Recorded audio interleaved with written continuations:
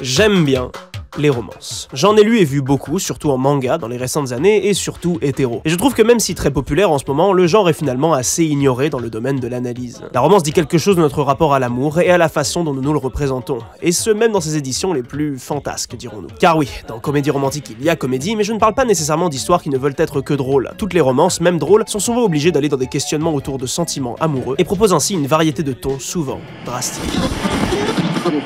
Komi-san ou Komisho Desu ou Komi cherche ses mots chez nous est un manga de Tomorito Oda. Tadano, un lycéen ordinaire, rencontre Komi Shoko, une fille mystérieuse adulée par tout le monde qui a en réalité simplement du mal à s'exprimer. Tadano va l'aider à se faire des amis et progressivement se rapprocher d'elle. Le manga est impressionnant par sa longévité et sa constance. Avec plus de 380 chapitres depuis 2016 et une fin qui ne semble même pas pointer le bout de son nez, Komi-san s'impose comme l'un des représentants les plus populaires et les plus remarqués des romances modernes.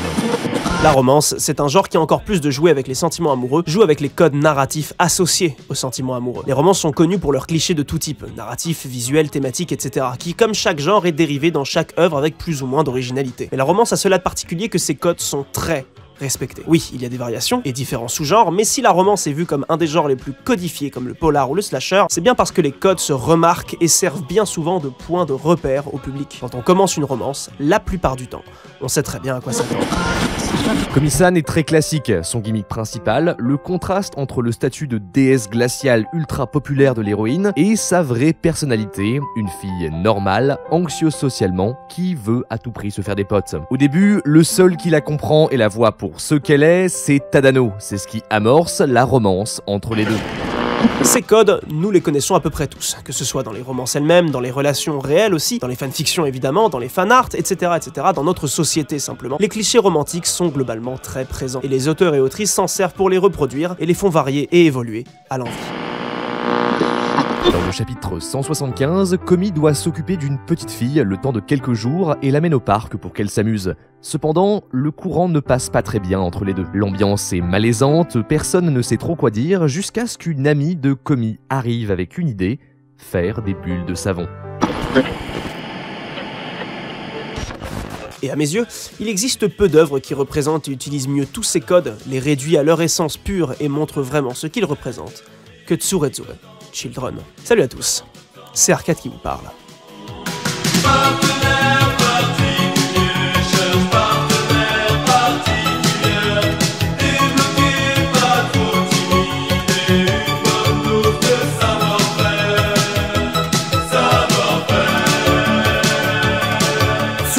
Children est la meilleure romance de tous les temps. Manga du gros tweetos Toshiya Wakabayashi et publié sur internet entre 2012 et 2018, il s'est offert une petite adaptation animée en 2017. Impossible à résumer si ce n'est à part plein de romances partout en même temps. Un lycée banal rempli d'élèves lambda qui se rencontrent et qui s'aiment dans toutes les situations possibles, à condition bien sûr qu'elles soient hétérosexuelles. Deux amis d'enfance, un gars timide et une meuf avenante, une gale avec le président du conseil des élèves, au total une quarantaine de personnages qui sur 200 chapitres forment une grande histoire chorale. C'est le Love Actually du manga. Complètement assumé, le plaisir principal vient du fait de voir des personnages se tourner autour, se mettre ensemble et explorer leurs relations. Presque une collection, une encyclopédie de la romance et de ses codes. Chaque personnage et chaque couple sont la caricature la plus épurée possible d'un cliché déjà vu et revu. Pas besoin d'exposition, d'un simple regard, on les connaît. Leurs relations non plus ne sont jamais mises en danger. Les péripéties n'arrivent que pour révéler de nouvelles facettes des protagonistes qui s'en sortent toujours quoi qu'il arrive. À part quelques twists occasionnels, tout est prévisible au point où ça en est presque rassurant, comme si le manga n'était qu'un long happy ever after. La romance ultime, un refuge, une bulle de douceur innocente où tout le monde a sa place. Mais tout ça, ça ne répond pas à la question pourquoi Tsurezure c'est si bien? Après tout, de ce que je vous en ai dit, pour l'instant, ça a surtout l'air d'être une romance basique, superficielle,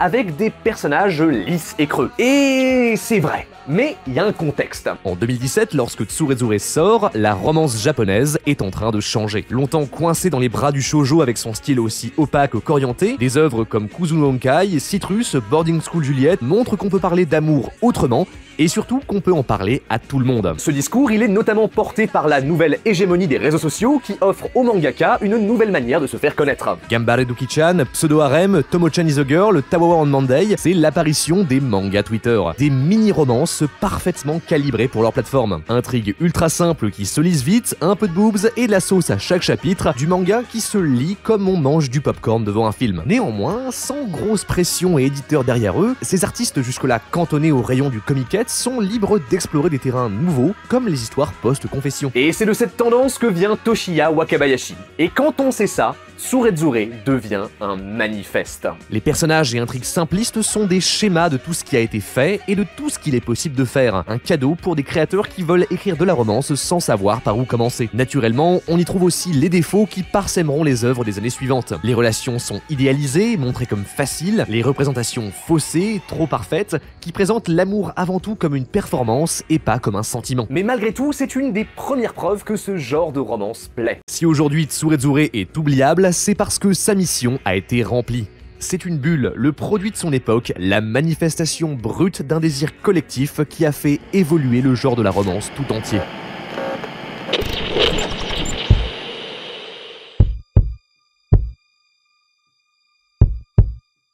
Il y a eu récemment un certain succès du genre de la comédie romantique au sein de la sphère Weebos fan de Japon. Il existe encore quelques comédies romantiques au cinéma, hein, et il y a pas mal de séries télé récentes qui tentent de retravailler le genre, mais euh, depuis quelques années, il est presque rituel d'avoir par année 3 ou 4 animés de comédies romantiques qui connaissent un succès euh, relatif. Mais ce haut du panier en termes de public ne laisse que deviner une partie infime de l'océan de comédies romantiques qui sortent en manga et existent à travers de communautés de fans plus ou moins confidentielles, que ce soit en petites séries modestes, en one-shot, en manga Twitter, en manhwa aussi si on veut sortir un peu du Japon, ou alors les fameuses séries surprises de 200 chapitres qui continuent d'exister de manière mystique alors que bah elles sont pas tellement suivies.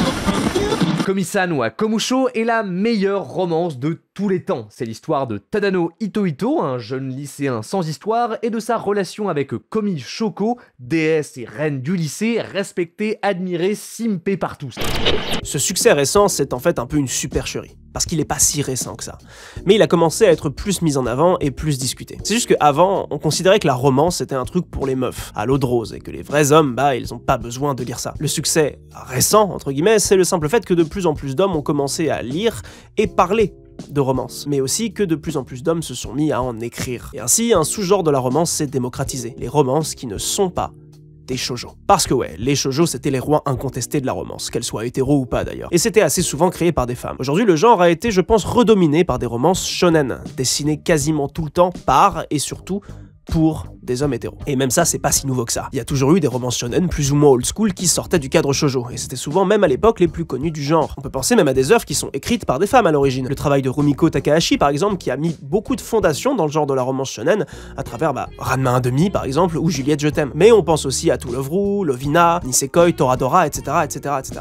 C'est juste que récemment, ça s'est énormément multiplié, en nombre et surtout en succès. Les shoujo n'ont pas disparu, hein, et il y a toujours évidemment, comme depuis le début, des meufs et des hommes qui lisent les deux sous-genres. Mais comme ce sont les hommes hétéros qui tiennent encore très fermement le pouvoir du discours dans les communes animés et mangas, ce sont les romances qui leur sont adressées qui ont le plus de succès et de médiatisation. Ainsi, il est devenu à peu près coutumier de voir chaque saison un nombre plus ou moins grand de romances être adaptées en animé et connaître un bon succès, pendant qu'une foutre sort en manga en parallèle avec plus ou moins de succès. Et cette nouvelle situation a créé, à mes yeux, une certaine hégémonie de la romance d'un sel.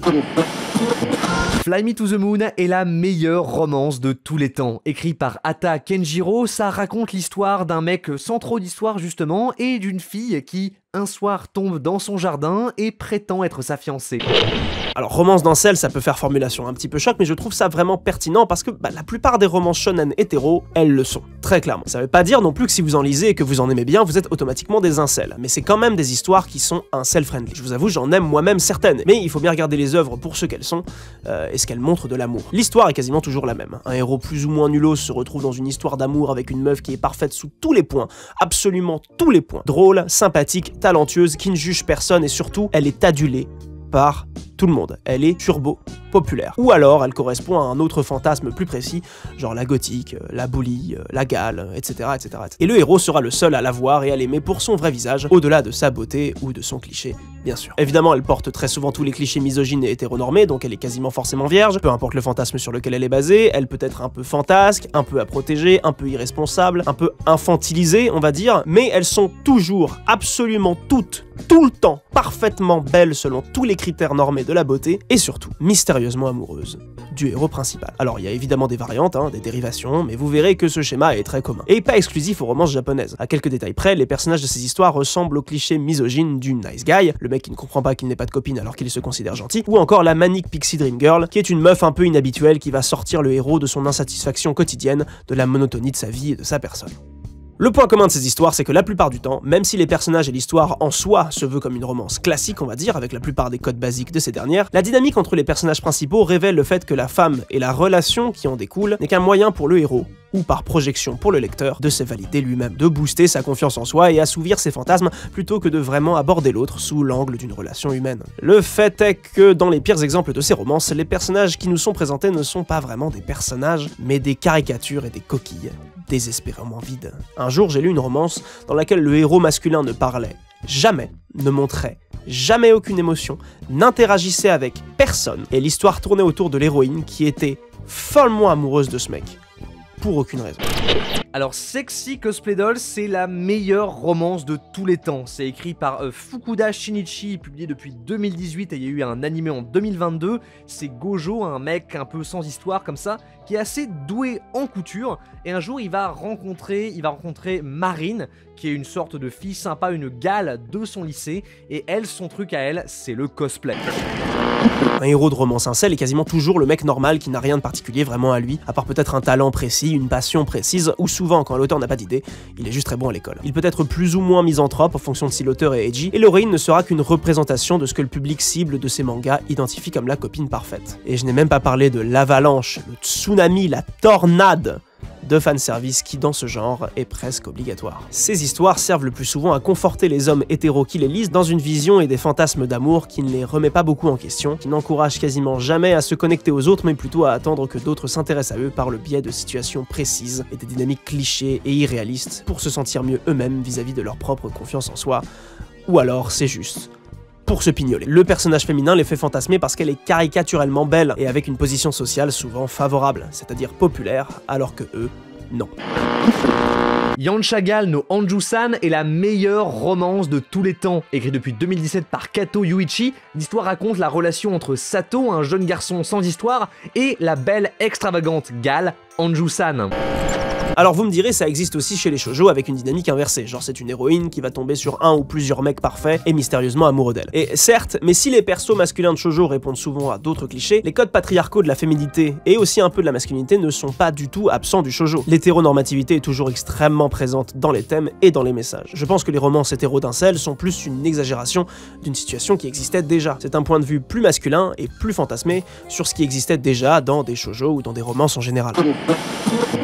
Shikimori n'est pas juste mignonne et la meilleure romance de tous les temps. Écrit depuis 2019 par Maki Keigo et adapté en animé en 2021, on suit le quotidien d'Izumi, un jeune garçon malchanceux, qui sort avec Shikomori, une fille parfaite, jolie, qui le protège constamment de sa propre poisse. Pourtant, certaines romances se débrouillent pas trop mal avec ce principe, mais ça passe souvent par une critique interne. Je vous conseille Dangers in My Heart, une romance d'un sel qui raconte l'histoire d'un mec misanthrope qui comprend qu'il doit se remettre en question, et franchement c'est cool. Une histoire similaire c'est celle de A Silent Voice, qui est un peu plus connue, mais aussi c'est un petit peu moins une romance qu'un drame, et c'est aussi un de mes mangas préférés d'ailleurs. Je parle bien du manga parce que j'ai pas vu le film, et à skip il est moins bien. Et même si dans l'histoire il y a un côté Manic Pixie Dream Girl, ça reste une œuvre très forte qui parle de pardon, de construction d'identité, de la nature de nos relations, et tout ça avec une douceur, une complexité et une empathie que je trouve renversante. Vraiment, euh, lisez ce manga, c'est de la dinguerie. Ces deux romances ont une spécificité par rapport à l'énorme majorité des autres romances d'un seul hétéro, c'est qu'elles sont écrites par des meufs. Mais ne vous inquiétez pas, les hommes sont aussi capables d'écrire des bonnes choses. Je vous conseille notamment l'excellent, l'incroyable Onani Master Kurosawa, écrit par Ise Katsura et dessiné par Yokota Takuma, qui est vraiment dans la même veine, genre la thématique principale, c'est littéralement le concept d'un seul. Mais il serait aussi difficile de catégoriser l'œuvre en tant que romance, parce que c'est pas non plus le centre absolu de l'histoire. J'en dis pas trop parce que je trouve que c'est mieux de découvrir, néanmoins je vous le conseille vraiment, c'est vraiment incroyable et pas très long en plus, mais je vous préviens, c'est plutôt cru. Au vu de ce corpus, il est clair que les romances d'incel restent des histoires qui se concentrent beaucoup plus sur l'état psychologique de leur héros que sur leur relation. L'amour, même traité avec plus intelligence que vouloir choper la bonne meuf populaire, reste dans ces histoires un symbole, un but à atteindre qui consacrera la transformation mentale du héros. Mais c'est plutôt courant finalement. Vous retirez le côté pignolage fantasmé des romances d'incel ou le côté développement personnel profond de celles qui se débrouillent un peu mieux, et bah vous vous retrouvez avec des romances plutôt classiques en soi, qui reprennent absolument tous les codes et les points de scénario du genre sans vraiment y toucher. L'amour, dans une romance, c'est un but à atteindre, un Les conflits des personnages et de l'histoire sont là pour être réglés en accédant ou pour accéder à l'amour. Prenez le journal de Bridget Jones. C'est une romance d'incel, presque assumée comme telle. Une romance de femcel d'ailleurs, si on veut être un petit peu précis. C'est une réflexion sur la confiance et l'acceptation de soi du personnage principal, qui est là pour représenter et donner de la confiance aux personnes qui va le regarder. La projection est évidemment très présente dans les histoires d'amour, dans le sens où, oui, regarder des gens finir par s'aimer, ou en tout cas aller mieux pour finir par s'aimer, bah ça fait du bien au cerveau, en partie parce qu'on peut s'imaginer être à leur place. Je pense que le fait qu'on lit souvent des romances pour se remonter le moral, en manque d'amour ou autre, c'est aussi parce que beaucoup de romances parlent moins de l'amour de l'autre que de l'amour de soi. Les héros de romances incel sont souvent isolés, perdus, ostracisés activement ou au moins se sentent à l'écart. La romance dans l'œuvre va leur permettre de développer leur potentiel. Et au-delà de choper, ils vont aussi devenir plus sociables, se faire plus de potes, devenir meilleurs et se sentir mieux et moins seuls. Ce sont des œuvres qui rassurent, certes par le biais souvent de codes et de figures très critiquables, mais qui viennent aussi d'un lieu de détresse, de solitude, et d'une volonté parfois sincère d'accompagner les lecteurs et les encourager à s'ouvrir, à s'améliorer, à reprendre confiance en eux. Il y a un narcissisme dans le genre de la romance, même au-delà des codes incels. Je peux critiquer autant que je souhaite ces histoires, il reste qu'elles représentent des valeurs et des visions qui sont loin d'être fictionnelles. Une des raisons de l'existence même des incels est que dans notre société, une relation hétéro est vue comme une réussite sociale et mentale totale. C'est toujours quelque chose qu'il faut rechercher et toujours quelque chose qui apporterait du bonheur. Les codes patriarcaux et hétéronormés mettent les relations amoureuses comme des biens des choses qui nous servent, nous permettent d'atteindre des plus hauts statuts. Et ces codes sont mécaniquement reproduits dans les fictions et les mythes qui, à leur tour, nous influencent. L'image d'un prince charmant, de la femme parfaite qui vous met en valeur, de l'amour plus fort que tout qui combat tous les autres problèmes, du coup de foudre, de l'évidence même d'un sentiment amoureux, et le fait qu'il ne doit et ne va jamais s'arrêter, si cela fait parfois des belles histoires, est-ce qu'on est sûr que cela fasse des belles relations? En s'enfermant dans des clichés misogynes et hétéronormés et en les exacerbant, les romances d'un promettent une façon dont l'amour se déroule et devrait se dérouler, en perpétuant des caricatures d'attentes et de codes sociaux très rarement remis en question, tout en s'enfermant dans ses propres codes scénaristiques. Les comédies romantiques créent une bulle normative, un espace qui déforme la réalité et y applique toujours la même forme. Et c'est souvent reçu en tant que tel car les romances parlent de sentiments humains qui ont souvent besoin de représentation, afin de se sentir compris, représentés, moins perdus, etc. Komi-san ou Komisho est la meilleure romance de tous les temps.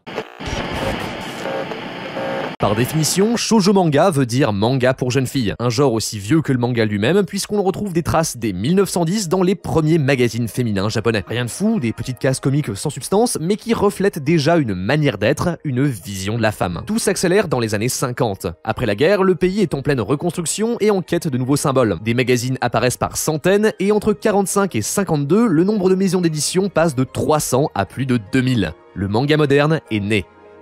Après avoir conquis le cœur des garçons avec Astro Boy, le dieu du manga Osamu Tezuka se tourne du côté des filles avec Princess Knight. Saphir, princesse d'un royaume féerique, doit cacher son genre pour pouvoir régner et protéger son peuple. Toutes les bases sont là. L'esthétique, les grands yeux, le côté kawaii, mais surtout la question qui traversera toute l'histoire du shoujo, c'est quoi être une femme? Les héroïnes des mangas pour filles sont pour la plupart fortes, audacieuses et indépendantes. Dans une société aussi conservatrice que le Japon, c'est un message fort, le désir d'une nouvelle représentation. Au début, les auteurs de shoujo sont principalement des hommes, mais progressivement, les femmes reprennent les rênes et dans les années 70, ces questionnements atteignent leur paroxysme. Ryoko Ikeda, Rumiko Takahashi, Sumika Yamamoto ou le groupe de l'an 24 ne sont que la pointe d'un colossal iceberg de mangaka talentueux qui ont ensemble défini le shoujo comme un genre avec ses histoires, ses traits et ses thèmes à part entière, écoulant souvent plus de copies que les magazines shonen. Son cheval de bataille, l'amour. Sujet presque entièrement délaissé par le shonen, les autrices de shoujo deviennent des maîtres des émotions, n'ayant pas peur de parler de sujets profonds et d'aborder les facettes choquantes de la psyché humaine. Pour ces autrices, l'amour est un théâtre. Les personnages s'y dévoilent progressivement dans un ballet codifié au millimètre. À la fin des années 90, le shonen c'était les combats, les valeurs, le grandiose,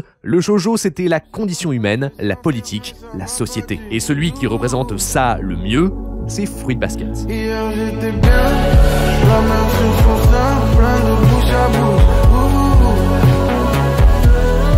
Au bord de la plage, y'avait ton amour, y'en a plus du tout. Dans la nuit, c'est chelou, wesh.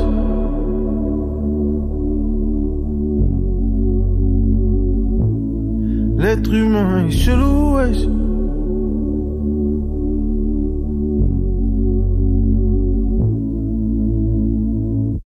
Fruit Basket est la meilleure romance de tous les temps. Écrit par Natsuki Takaya, Fruit Basket raconte la vie de Toru, une jeune orpheline sans argent qui va se faire héberger chez Shigure, un membre du clan Soma qui cohabite avec deux de ses cousins Kyo et Yuki, les deux principaux love interest de l'histoire. Et si vous pensez que c'est compliqué maintenant, vous n'êtes pas prêt. Toru va vite comprendre que ces trois-là sont en quelque sorte un peu bannis du clan Soma, qui est une sorte d'énorme famille tentaculaire dont les relations au sein de celle-ci sont... euh, la famille est marquée par une malédiction tirée des légendaires signes du zodiaque et de l'histoire de la course organisée par un dieu entre les 13 animaux. Ainsi, 13 membres du clan Soma sont aléatoirement désignés par le destin pour être maudits. S'ils sont en état de grosse détresse mentale ou si simplement un membre du sexe opposé leur fait un câlin, ils se transforment en animaux. Tout ça, c'est le cadre idéal pour 13 relations turbo-toxiques de dépendance et d'abus émotionnels, mentaux, physiques et mentaux entre Akito, le chef du clan Soma, et les 13 autres maudits. Yuki se transforme en souris, Kyo en chat, une malédiction encore pire que les autres parce qu'il peut aussi se transformer en monstre, ce qui fait qu'il est banni. Le principe de Fruit Basket, c'est d'explorer les personnalités des maudits et de les voir être totalement renversés par l'optimisme, l'affection, la gentillesse, la puissance lumineuse divine qui caractérise Toru. Une boule de riz dans un panier de fruits. Elle a aussi ses propres évolutions et conflits à dépasser, mais c'est incontestablement le cœur battant de la série qui inspire tous les autres personnages et qui va leur permettre à chacun d'avancer, de dépasser leur traumatisme et de retrouver du sens à leur vie. Fruit Basket est un énorme banger. Fruit Basket, c'est une romance en apparence plutôt classique. Avec ses airs d'harem pour personnages féminins, son style vraiment très shoujo et son héroïne qui suit la plupart des codes classiques pour les héroïnes de ce type d'histoire, Fruit Basket ne semble pas cacher grand chose. Une héroïne somme toute banale qui vit des aventures d'amour un peu fantastiques avec plusieurs jeunes hommes séduisants. Mais rester à cela, ce serait passer à côté du cœur de Fruit Basket. Une réflexion sensible et nuancée sur la complexité des relations d'amour dans leurs meilleurs comme dans leurs pires aspects. Parce que oui, Fruit Basket est bien une comédie romantique, avec ses codes, son humour, ses personnages relativement clichés. Mais c'est aussi substance et comme pas mal de shoujo en réalité, un drame psychologique particulièrement poussé, car à peu près tous ces personnages traversent et ou vont traverser des terribles violences venant souvent de personnes pour qui elles ressentent si ce n'est de l'amour, au moins de l'empathie. Et cette empathie, elle est parfaitement représentée par Toru, qui en influençant tous les autres personnages, va servir de nœud thématique pour toute l'œuvre. Au fur et à mesure que les discours et les situations se développent et s'enchaînent, l'empathie et la compréhension est toujours présentée par l'œuvre comme la solution. C'est la méthode de Toru, et Toru finit toujours par convaincre. Même Akito, antagoniste principal, qui a torturé de toutes les manières possibles les membres de la famille Soma, a méprisé Toru verbalement et physiquement, et il la pousse même d'une falaise à un moment, et bien Toru continuera toujours de l'aborder comme tous les autres, sous le prisme de la complexité et de la compréhension, quitte à être terriblement naïve. Elle prend toujours en pitié Akito malgré toutes ses actions, et c'est ça qui permet à ce dernier de se remettre en question. Souvent vue comme une fille un peu fantasque et à protéger, Toru trône sans aucune compétition comme la force psychologique la plus solide de l'entièreté de l'histoire. C'est une Naruto kétaminée, car malgré tout ce qu'elle a vécu, la perte de ses deux parents, le rejet de sa famille d'accueil, son extrême pauvreté et j'en passe, c'est sa capacité à toujours garder la tête haute et son regard tourné vers les autres qui permet à tous les personnages, souvent totalement autocentrés sur leurs propres problèmes et leurs propres souffrances, de changer. Fruit Basket parle d'amour, d'amour au sens propre, et du sens que celui-ci a dans nos vies. Quand je parle d'amour, je ne parle pas nécessairement de relations romantiques entre guillemets. L'amour qu'explore Fruit Basket, c'est aussi celui de l'amitié, du lien familial, de l'admiration. Ces liens sont explorés à travers une distinction et une dialectique au contour flou entre l'amour qui prend et l'amour qui donne. Cette distinction, elle se voit clairement dans les deux pôles philosophiques de l'œuvre, qui représentent radicalement leur position et s'affrontent tout au long du manga. Toru, qui ne pense jamais à elle-même et donne tout ce qu'elle a pour les autres, et Akito, qui prend tout ce qu'il veut chez ceux qu'il aime, exige qu'il soit toujours là pour lui, quitte à les couper totalement du monde. Les autres personnages et relations présentés dans l'œuvre se situent dans un spectre complexe entre ces deux philosophies, souvent coincés entre le besoin d'amour que provoque leur trauma et l'envie sincère d'en donner en retour. Il sera parfois difficile pour la plupart d'arriver à vraiment faire la différence entre ces formes, notamment pour Yuki et Kyo. Évidemment, la vision de Toru est présentée tout au long de l'œuvre comme celle vers qui tendre, mais même si toutes les relations qu'entretient Akito ont une place dans le palmarès de la toxicité, Takaya présente malgré tout ces relations comme aussi l'amour. Le maudit du coq en est la preuve. Il reste près d'Akito par pitié, ou encore évidemment Shigure, sur lequel il y aurait pas mal de choses à dire, hein, mais on va rester sur le fait que c'est probablement le personnage qui aime le plus Akito, en ayant pleinement conscience de toute sa toxicité. L'amour en soi n'est pas vraiment jugé au sein de l'œuvre, mais analysé à l'aune des racines de celui-ci. Si l'amour de Toru peut paraître facile, automatique et superficiel, il est en réalité sincère, puissant et salvateur. Et si Akito mène d'une main de fer ses relations profondément toxiques, elles sont Il est possible de s'en libérer en ouvrant ses perspectives, en réalisant soudainement, et sans vraiment savoir pourquoi, qu'il est possible de voir au-delà d'Akito, de le voir pour ce qu'il est réellement, quelqu'un de seul, et ainsi redevenir libre. Qu'êtes-vous capable de donner et qu'êtes-vous capable de prendre? Si la réalité des relations se place très souvent dans un labyrinthe complexe qui navigue entre ces deux notions, Fruit Basket présente une différence fondamentale entre ces deux formes d'amour. L'amour de Toru lui vient de l'empathie et les connexions qu'elle a envers les autres, certes, mais aussi d'une volonté de faire honneur et perdurer la volonté de ceux qui l'ont aimé par le passé, notamment sa mère. Le fantôme de la mère de Toru hante absolument toute l'œuvre. Le simple fait d'avoir autant aimé sa fille fait que son ombre plane sur tout le manga. L'amour est non seulement un sentiment sincère que l'on éprouve, mais aussi un honneur fait à ceux qui nous ont déjà aimés. Aimer à nouveau, c'est les rendre fiers. L'amour d'Akito, lui, vient d'une dépendance à l'affection. Il vient d'une faiblesse, d'une cicatrice jamais refermée, d'un manque à combler, et ses racines sont profondément enfouies dans le trauma.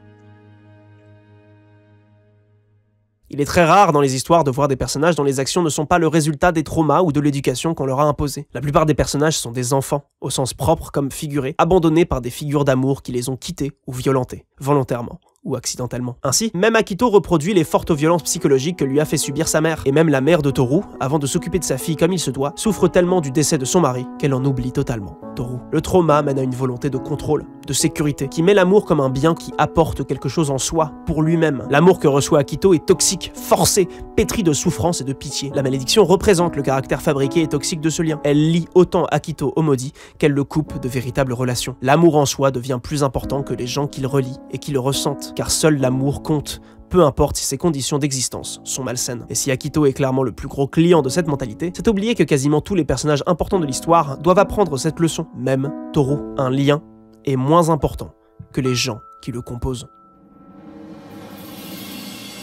Vers la fin de l'histoire, on découvre que l'histoire du dieu qui a organisé une course est fausse. La réalité, c'est celle d'un homme qui, incapable d'accepter que le temps passait et que les relations se terminaient, a maudit tous ceux qu'il aimait pour artificiellement faire vivre un lien qui n'avait plus de sens, pour son seul propre bien. C'est cette révélation qui fait comprendre pourquoi c'est bien Kyo et non Yuki dont Toru est bien amoureuse. Une des plus belles scènes de l'histoire est celle où Yuki réalise de lui-même le fait que son amour pour Toru venait bien d'un lieu de manque et de dépendance, du besoin de combler l'absence d'amour de ses parents et d'Akito. Il voyait en Toru une mère qui prendrait soin de lui et non une personne avec qui se lier. Cette réalisation est une libération pour lui, qui lui permet non seulement d'aller de l'avant, de se reconnecter aux autres dont il se sentait étranger, mais aussi d'enfin profiter d'une amitié forte et saine avec Toru, libéré de toute ambiguïté. Quant à Kyo, il a en fait une place similaire à Toru dans le récit. Ils sont les de leur propre cercle, le chat du zodiaque et la boule de riz panier de fruits. Ils sont les seuls qui, depuis le début, s'aiment pour ce qu'ils sont. La métaphore de la boule de riz est encore plus développée par Toru. Pour elle, les gens sont des boules de riz qui ne sont pas capables de voir ce qu'ils ont de spécial à l'intérieur d'eux-mêmes. Ceux qui les entourent sont accablés par le poids des liens superficiels et imposés qu'ils se donnent, que ce soit le dieu qui maudit le futur ou les enfants qui s'attribuent des fruits et excluent Toru. Tous ne voient pas ce qui permet un lien en prime abord, le fait de connaître ce qu'il y a de spécial dans une personne. C'est pour cela que Toru est la seule à poursuivre Kyo même quand il se transforme en monstre, et que Kyo est le seul à tenter de protéger Toru de ses propres traumas. Cependant, Toru et Kyo eux-mêmes ont aussi un lien qu'ils doivent arriver à dépasser, c'est celui du fantôme de la daronne. Effectivement, Kyo se sent responsable de la mort de la mère de Toru, et ainsi s'interdit de trop se rapprocher d'elle. Cela pousse Toru à aller à l'encontre de ce qu'elle pense être la volonté de sa mère, et penser à elle-même et à ce qu'elle ressent pour Kyo, au-delà du respect d'un lien qui n'existe plus. Tout comme le chat l'explique au dieu sans être écouté, il faut laisser les liens s'estomper naturellement et se concentrer sur ce qui est présent et toujours là. C'est Toru, l'exclu, sans lien, la boule de riz dans le panier de fruits, qui par son empathie, par sa compréhension, par son ouverture vers les autres, par ce qu'elle est, permet de briser tous les liens mortifères et toxiques qui entouraient les autres personnages, et de prendre soin de ceux qui existent et leur font du bien.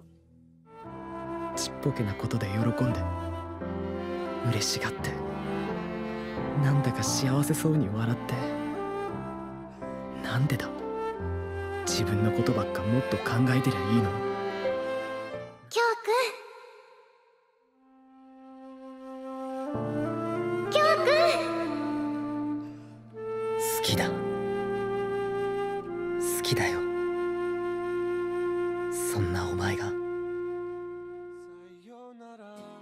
Tout ça c'est vraiment très stylé, mais en dernière analyse, tentons de nuancer. Free Basket propose une vision parmi les plus sincères et sensibles possibles des relations entre les individus, mais ça ne veut pas dire que les figures que l'œuvre présente ne sont pas à critiquer. Parce que même si j'adore Free Basket, et que je me tiens à mon analyse, je pense qu'à partir de cette vision, il y a dans l'œuvre certaines contradictions. Bon déjà, la pédophilie beaucoup trop présente qui se décline sur plusieurs relations tout au long de l'œuvre est quand même plus que gênante. Je ne peux pas m'empêcher de me dire que l'autrice a un petit peu une vision en mode l'amour n'a pas d'âge et pas de limite, et ça me met bien mal à l'aise. Comme je l'ai dit, Fruit Basket met en scène des personnages qui remettent en question la nature des liens d'amour qui les entoure pour devenir meilleurs et en recréer des plus sains. Mais en attendant, le personnage de Toru, à part à la fin, est très peu remis en question et a une vision de l'amour plutôt classique. Toru aimera toujours et dans toutes les situations et ne reviendra sur ses décisions que si ce n'est pour suivre un autre amour. Toru est automatique dans ses jugements envers les autres et montre aussi un modèle de comportement qui peut être critiqué. Toru passe l'entièreté de l'œuvre à accepter et à être empathique pour les mal-être et violences des personnages masculins qui l'entourent. Elle ne sort que très peu dans l'œuvre de son rôle d'infirmière entre guillemets, qui doit entendre les problèmes des hommes qu'elle aime et leur fournir des solutions, quitte à sincèrement compromettre sa propre santé mentale, voire sa santé physique. Ce qui est globalement cohérent avec les rôles d'empathie absolue, de soin, de care qu'on associe à la femme en général dans les relations hétéro. Je pense que les révélations sur le genre d'Akito servent aussi à nuancer cet aspect-là, mais je trouve ça assez maladroit. Il est difficile de faire concorder un message qui me semble être une remise en question de la sacralisation des liens d'amour, et en même temps de proposer un personnage qui, même dans le camp du bien, a finalement un comportement très peu nuancé sur ces questions. La posture empathique à tout prix que met en valeur Fruit Basket se repose aussi sur des fondements qui sont peu discutés. Fruit Basket est une sublime bulle. Pas particulièrement parce que le message ou les personnages seraient niais, mais parce que les problèmes extrêmement complexes et nuancés des relations d'amour sont parfois répondus avec des solutions qui manquent un petit peu, elles, de cette complexité. C'est une bulle magnifique, inspirante, qui à mon sens apporte énormément et doit être prise au sérieux, mais qui intrinsèquement possède une grande fragilité, et trop s'en approcher sans conscience risquerait de la faire éclater. Il reste que malgré cela, Fruit Basket est une des œuvres les plus intéressantes qui parle de relations et de toxicité, et s'élève au rang d'une des meilleures romances du monde.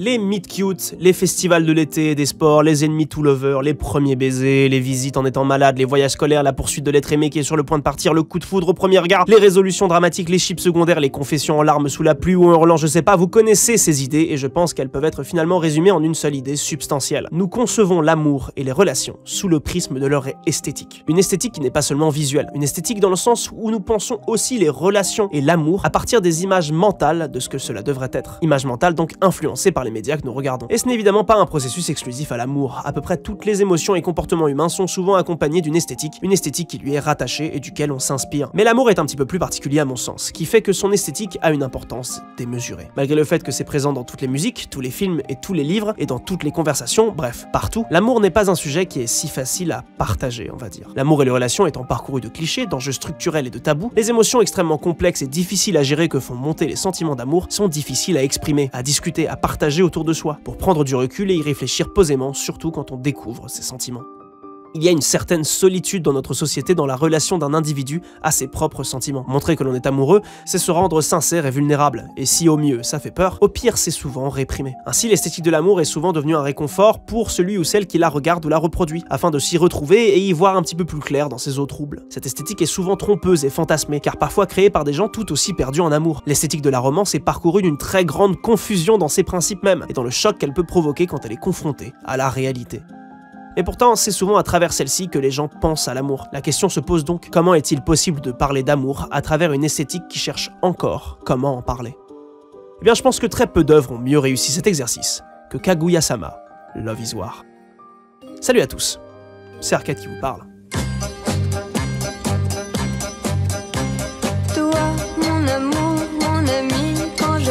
C'est de toi, mon amour, mon ami, quand je chante, c'est pour toi,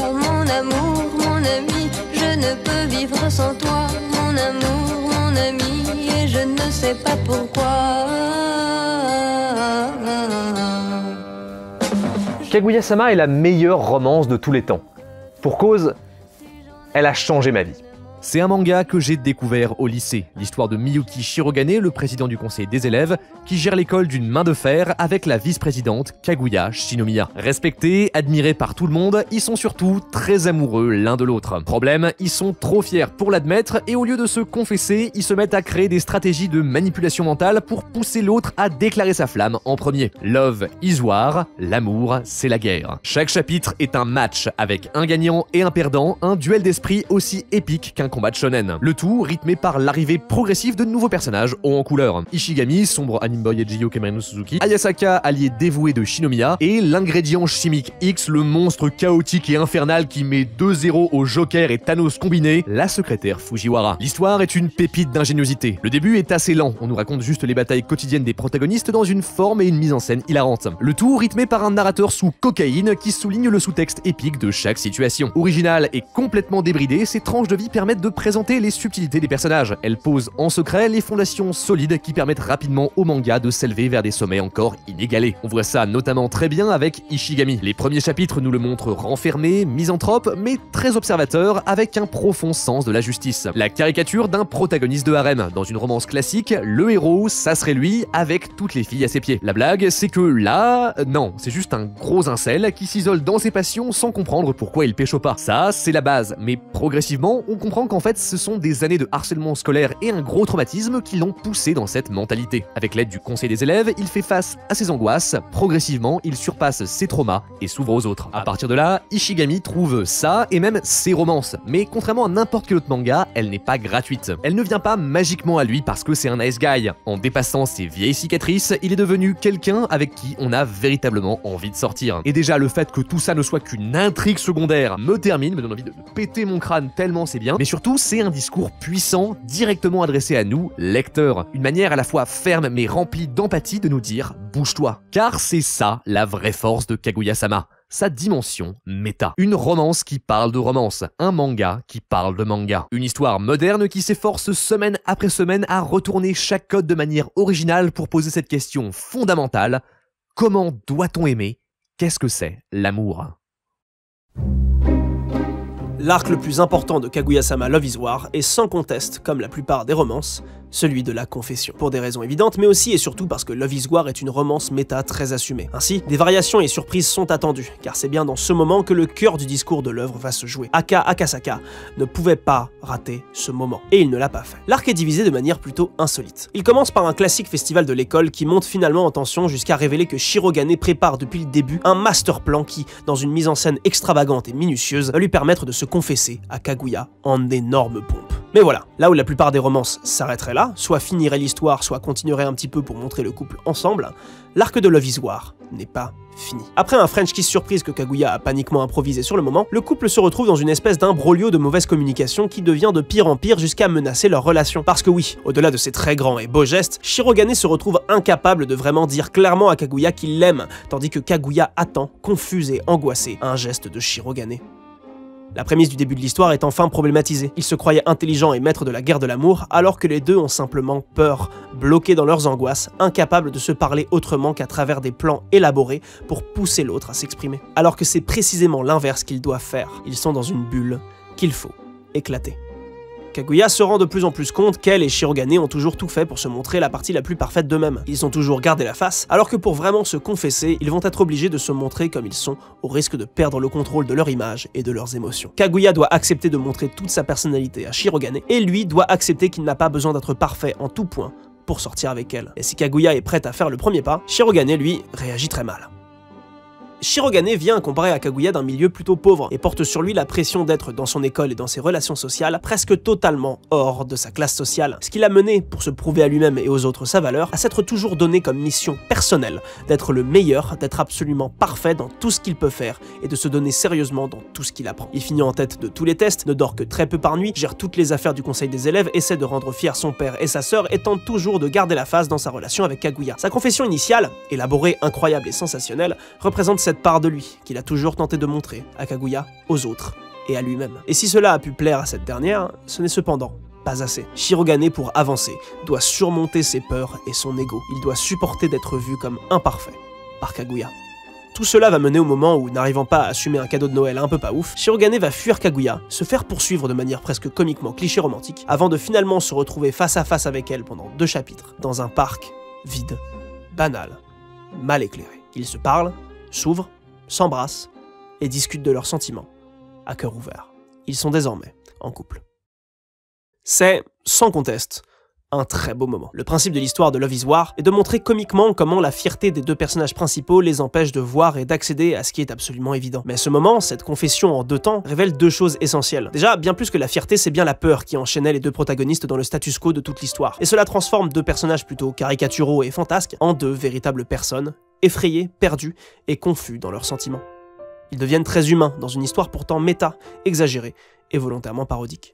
La deuxième chose, c'est que leur vision de l'amour n'était qu'esthétique. L'amour a été confondu avec le romantisme. En tant que jeu, en tant que guerre, le romantisme présente des vainqueurs et des déchus. Il est plus important d'en sortir digne, en sécurité, qu'en sortir en s'étant mis à risque. Les moments les plus importants de l'histoire entre Shirogane et Kaguya tournent autour de grands gestes, de grands moments marquants reconnus comme tels, qui le sont car ils sont en soi impressionnant. Un feu d'artifice regardé au prix de nombreuses recherches, des sacrifices secrets pour que l'autre réussisse, des plans de plus en plus compliqués, un jeu de pistes énorme et complexe avant d'avoir enfin une confession. Mais le véritable moment où leur relation évolue, c'est quand ils arrêtent de penser leur amour comme un objet qui devrait être regardé et jugé.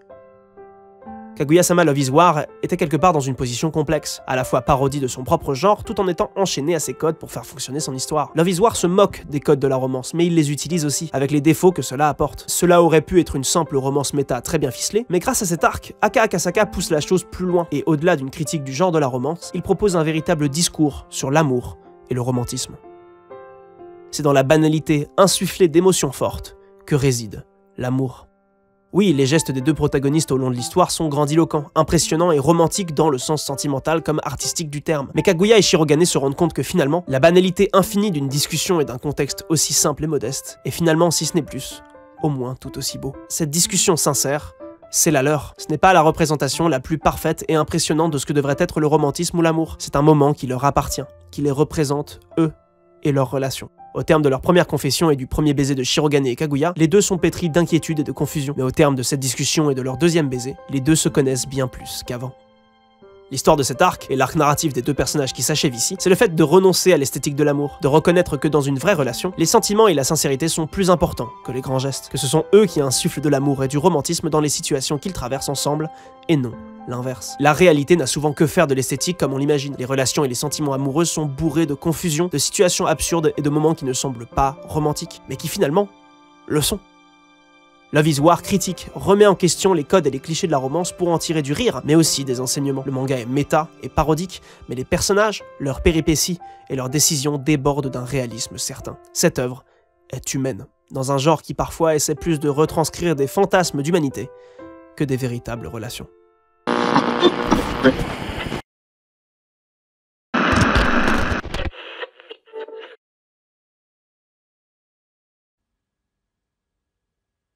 Pourquoi est-ce qu'on fait ça? Est-ce que je sais plus comment faire? Est-ce que j'en ai trop fait? J'ai lu et relu tellement de romances de merde, j'ai fait et refait tellement de vidéos de merde, des intros de 10 minutes, des surinterprétations, des hyperboles, des phrases dramatiques, des découpages en chapitres, des suçages sur des films nostalgiques, ce truc le plus sous-coté du monde, ce truc est le meilleur des machins, le pire film de tous les temps, euh, oui, ce truc qui m'a touché parce que bah ça m'a touché et que c'est tout, et ben en fait il est validement légitime et bien fait parce qu'en fait dans un plan et ben il relève la vérité du capitalisme et c'est pour ça que c'est beau. Tellement bandeur de sources et d'universitaires, on a l'impression qu'on rêverait d'en être. Pourquoi est-ce qu'on essaye de justifier autant d'aimer? 45 000 vidéos sur Marvel pour apprendre que c'est mid. 40 minutes de vidéo pour vous apprendre que je suis hétéro. Cette vidéo sur les romances, elle est dans les cartons depuis 2019. Elle a changé de forme et d'angle et de propos dix fois parce que j'essayais de trouver un moyen légitime et justifié de vous parler de Bonucci. Bonucci n'est pas la meilleure romance de tous les temps. C'est une comédie romantique hétéro, plutôt classique, qui raconte l'histoire d'une meuf qui se vient de se faire larguer, et qui rentre chez elle un jour bourrée, et qui se trompe d'étage dans son immeuble. Du coup, elle sonne chez son voisin du dessous, et on va suivre leur relation, des prémices, jusqu'à la confession, et un peu de leur vie de couple. Et c'est tout. Il y a vraiment rien de spécial. C'est plutôt mignon, c'est classique, les persos sont attachants, il y a une vraie douceur, que ce soit dans le style graphique ou dans euh, l'histoire, dans la façon dont c'est raconté, etc. Il y a quelques scènes un peu atypiques, hein, ça parle un peu de sexe, et de manière surprenamment ok, ce qui est plutôt rare, hein, mais c'est tout. J'ai essayé pendant des années de trouver un moyen d'en faire une vidéo de parler d'amour, de quotidien, euh, d'accompagnement, euh, de construction de relations, d'un truc que ça disait quelque chose d'extrêmement profond sur la nature même des relations. La vérité, c'est que j'aime juste ce manga. J'aime cette histoire, j'aime ces persos, j'aime. J'aime ce manga. C'est tout. Et je sais pas vraiment pourquoi. C'est sans conteste une de mes œuvres préférées de tous les temps et j'aimerais la conseiller à tout le monde. Si vous voulez la lire, si vous êtes intéressé, c'est en anglais, en scan, c'est chiant à trouver, mais si vous la trouvez, lisez-la. Elle a des défauts de romance classique, hein. Les persos sont un peu caricaturaux, la relation est un peu simplifiée, et puis surtout elle est bourrée de sucre. Et bon, bah ça reste une romance hétéro, quoi. Juste cette histoire m'a touché. Comme rarement des œuvres m'ont touché. À cause de ce que je suis, à cause du moment où je l'ai lu, à cause des conditions matérielles d'existence au sens marxiste. Et c'est quand même une excellente œuvre, hein. Vraiment, je vous la, conseille. Enfin, enfin peut-être que ça, vous allez pas aimer, mais, je vous la conseille. Ça a des grosses qualités aussi, c'est pas du tout une romance d'incel. Euh, ça parle vraiment de, de, bah, de relations, de reconstruction, d'imprévus aussi. C'est, c'est vraiment très humain, mais ça reste classique. J'ai l'impression qu'en essayant de trouver une romance ultime, en essayant de trouver une romance qui dépasserait toutes les autres et qui critiquerait aussi toutes les autres, qui s'en démarquerait du coup, bref en gros en, suçant Love War pendant 10 minutes, je suis pas si différent des personnes qui dénigrent la romance pour ses codes même. Parce que je ne mets en valeur que une œuvre par à quel point est-ce qu'elle s'éloigne de son genre de base, et surtout à quel point est-ce qu'elle le critique. Déjà, je suis pas fan de base que l'originalité a tendance à être prise en soi comme une qualité, mais aussi l'histoire du dénigrement du genre romantique elle est pas neutre. Oui, le genre de base, il est pétri de problèmes, de misogynie et de patriarcat, mais ceux qui dénigraient la romance, en tout cas en grande partie, c'était aussi par motivation patriarcale. Parce que la romance de base, les trucs fleurs bleues, les drames sentimentaux, c'était vu comme pour les meufs, pour les gonzesses, pour les midinettes. Hein Bon, ça parle de sentiments et tout, c'est pour se donner des frissons, euh, un truc un peu tire-larme, un truc pour se remettre d'une rupture, mais c'est tout. Les famosos romans de gare, les histoires à l'eau de rose, le fleur bleu, vous voyez ce putain de vocabulaire là. Au final, cette vidéo parle des romances comme un universitaire, en essayant de cacher à tout prix que au final, j'aime aussi ce dont je parle. Et c'est pour ça aussi que je veux en parler.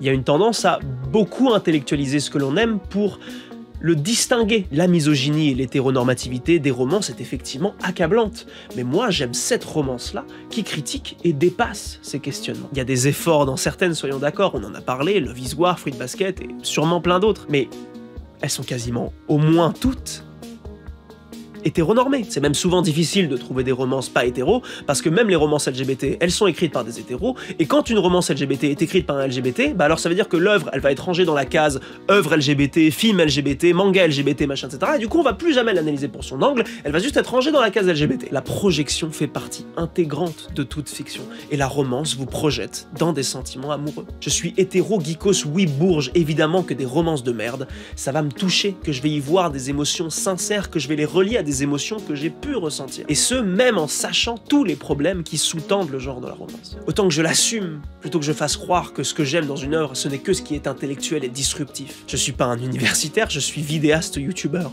Je suis pas là pour m'élever dans la hiérarchie des savoirs. Alors ça veut pas dire que aimer quelque chose, c'est une carte joker pour éviter d'avoir à la critiquer et la remettre en question. Hein.